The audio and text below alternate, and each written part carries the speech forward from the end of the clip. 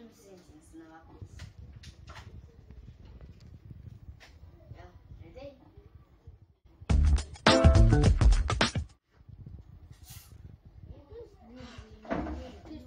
Guys welcome to my youtube channel if you are watching me for the first time you are welcome to my channel if you have not subscribed to my youtube channel please kindly subscribe so that i can be notified whenever i uploaded a new videos so today i'm preparing ogbono in my kitchen. I name my kitchen ajoke's pepper.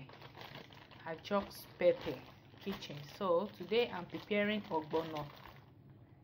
So this is what i'm going to be using for my ogbono. So i'm going to be showing it one by one before i proceed cooking. So